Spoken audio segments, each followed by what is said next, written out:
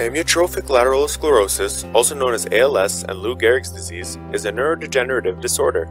Like other neurodegenerative disorders, ALS leads to the destruction of the human nervous system, and therefore a loss of function as a result. Like ALS, neurodegenerative diseases can be caused by many factors. Of these factors are faulty genes, which tends to be the case for 5 to 10% of people. The cause could be developmental or due to the environment, including factors such as physical injuries, cancers, infections, and even smoking. By the end of this video, you will become experts on the structure of motor neurons, the development of motor neurons, the role of motor neurons, and also know how the function of these neurons is affected as the disease progresses. Our 100 billion neurons make up the cells of the nervous system. These cells specialize in communication within the body. What makes neurons good at communication is their structure. They are essentially like a wire with two ends or zones, which are the receptive zone and this zone consists of the cell body, the nucleus, and dendrites that branch out from the cell body to receive signals and inputs from other neighboring neurons.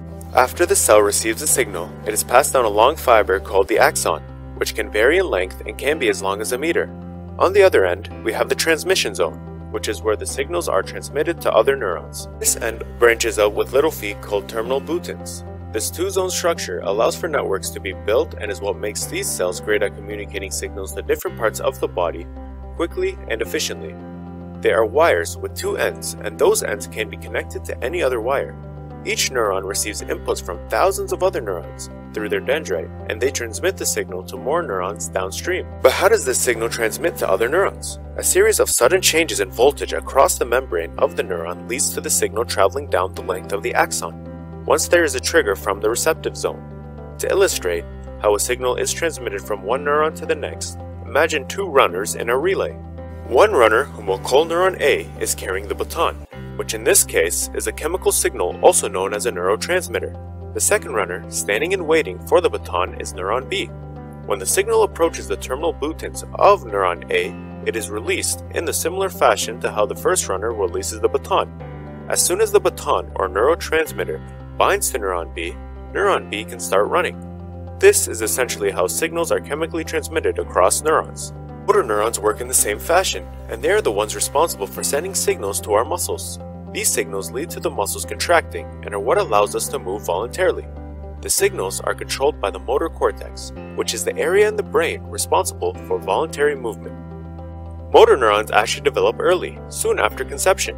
When a fertilized egg becomes a ball of cells, it is known as the inner cell mass, and it consists of stem cells that can specialize into any type of cell, and upon receiving certain chemical signals, they can begin to differentiate into cells of the nervous system. Eventually, certain hormones are released from other areas of the developing brain that cause certain genes in these neural cells to be turned on, which ensures that they are specifically developed into motor neurons. ALS is a neurodegenerative disease, which means that it causes the atrophy of neurons, or in other words, the wasting away and decline in function due to the degeneration of cells. In ALS, motor neurons are the ones which atrophy.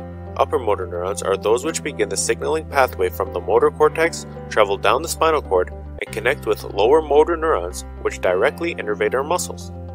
Disruptions in signals between upper and lower motor neurons can cause limb muscles to develop stiffness, movements to become slow and effortful, and tendon reflexes to be overactive. This eventually leads to the loss of the ability to control voluntary movement. Damage to the lower motor neurons specifically can lead to muscles not functioning properly as they are direct messengers that tells the muscles to contract.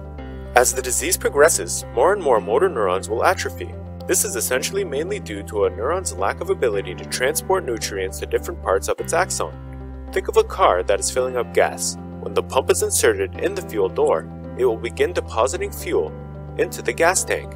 What happens if the pump fails to do so? Eventually, whatever gas is left in the tank will be used up as the car drives, and when it does run out, the engine will break down. This is essentially what happens in the neuron.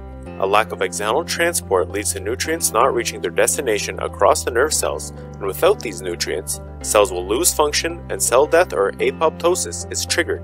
More than 2,000 people in this world are currently living with ALS, yet more research needs to be conducted in order for a cure to be developed or for some sort of intervention to be designed to improve the quality of life of these people. To find out more about ALS Canada, click on the link in the description. For more videos on ALS, visit the McMaster Demystifying Medicine YouTube channel.